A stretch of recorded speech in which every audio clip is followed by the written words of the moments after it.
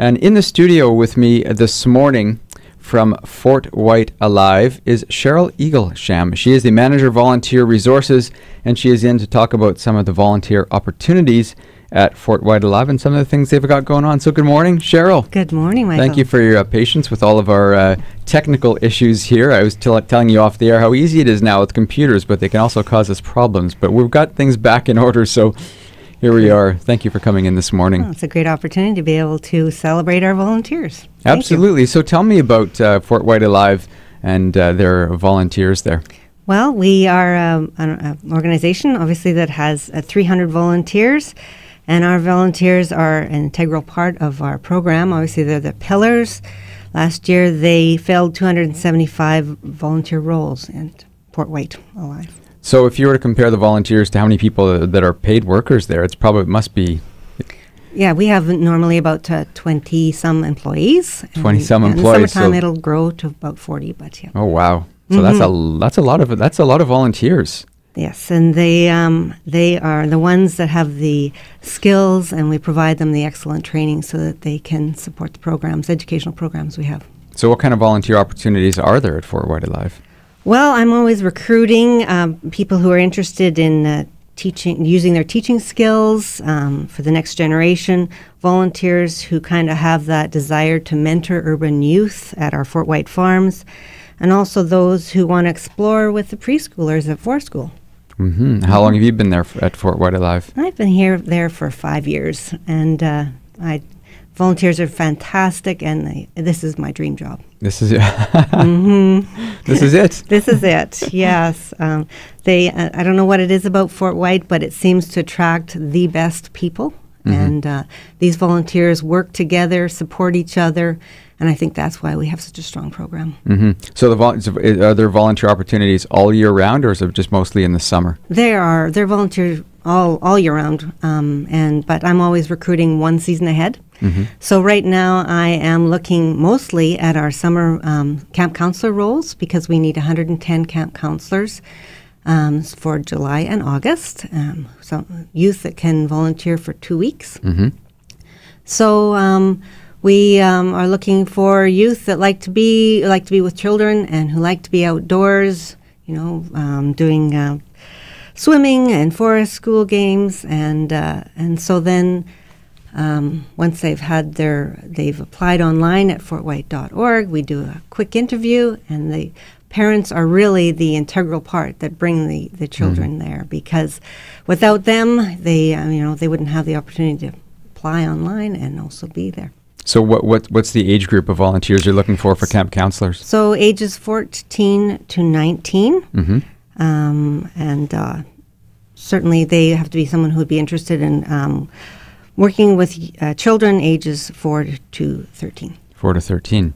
So that's I mean you know these days we talk a lot about technology and phones and computers and iPads and iPods and all that kind of Yeah. stuff, and kids spend a lot of time on their phones these days, and they're uh, often not too motivated on their own to get outdoors and do this kind of thing. So if you're out there, you're a parent or a grandparent, and you're listening to the show, it's it's a good opportunity to kind of unplug the kids and, and get them out there. And uh, I've always felt volunteering is such an amazing thing that I think every kid should volunteer at least somewhere when they're growing up because it benefits not only the people that you're vol- that you're helping, but it benefits yourself as well. They they um, volunteers tell me that they get more um, get back more than they give, and uh, so I mean volunteers um, volunteering is really an opportunity to use your skills, uh, meet people with similar interests, and then also um, make a difference in your community. hmm So that you said there's training involved as well. How long of a training period is there for? For the camp counselor role, it's one week of Okay. of, of training, four Yeah. days. Okay, and what, what what about some of the other things? So um, it, during at um, for throughout the year, we um, every season we have new roles, and so um, if you're thinking of volunteering, what you want to do is start thinking about applying really early, even before the the fall starts, because mm-hmm. training begins right in September, first kind in September. So you want to connect with me at fortwhyte.org, mm-hmm. and I'd be cle- pleased to speak with you and mm-hmm. then set you up with some information on when we start our training. This is uh, Sharyl Eaglesham. She is the manager of volunteer resources at Fort Whyte Alive. We're talking about uh, some of the volunteer opportunities out there, and probably it's not a bad idea for pe- people who have never been there or haven't been in a long time to actually go and experience it first. Maybe find out what they love about the place. Maybe there's one particular thing they like about it, and then when they go to head to uh, apply for volunteering, they can be specific about one of the things they want to do. Right? That's not a bad. Yeah, the different roles are, are online at fortwhyte.org. Mm-hmm. But uh, definitely our draw is the, the, we have uh, 640 acres of land, right? And that is the draw that brings people out in nature. Mm-hmm. And if you love nature and being outdoors, we have a volunteer role for you. Is there one of the volunteer roles in particular that people love? That the one you find you get the most people volunteering for? Um, well, certainly people who love using their skills, their ed- uh, education sk- skills, you know, like teaching and like to empower the next generation about being outdoors, Okay. nature. I don't know, Can you do you volunteer to be like one of the buffalo tamers or something like that? Do you get out there with the bison? No, the No. bison are their own herd out there. They do their own thing. We don't have to worry about any, uh, them. Uh, We Hmm. have staff that feed them, and, and but they're on their own. But you know, they're they're such an interesting animal, and and we're always excited on Mother's Day because that's when the new calves are being born. And uh, so, if uh, yeah, if you want to, to come out during Mother's Day, you might see a brand new calf. Is it is seriously on Mother's Day? That's when they Well, around typically that around that time. I was going to say that's kind of yeah, ironic. Every yeah. day on every Maybe year on Mother's Day. Change in the weather this year, but it's around that time. Yeah. Cool. So there you have it. There's lots of opportunities to volunteer at Fort Whyte Alive. It's National Volunteer Week.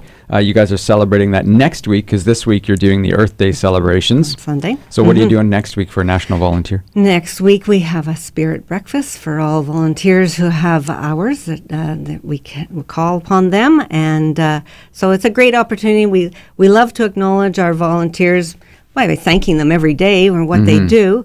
Um, but uh, the spirit breakfast is kind of a tangible thing we like to do. And uh, and we love to feed our volunteers. So we have lots of, uh, we have a barbecue and the breakfast, and we have a holiday dinner also. Wow, sounds Mhm. amazing. Yeah. Great place to spend some time uh, volunteering or just visiting as well.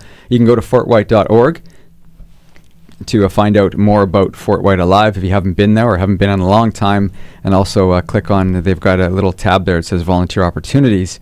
And it'll uh, describe some of the volunteering opportunities at Fort Whyte Alive. They've got lots of stuff going on uh, throughout the year. If you go uh, click on their events calendar, you'll find that, uh, well, pretty much every second day at least, there's something going on. And as Sharyl was mentioning, uh, Earth Day celebrations on Sunday. Next week, it's all about volunteers. And then, of course, their regular activities as well. So thank you for coming in, Sharyl. Well, thank you for the opportunity to speak about volunteering at Fort Whyte. And uh, during this National Volunteer Week, I want to thank the many volunteers who offer their time and skills to our community each day because you are making a difference.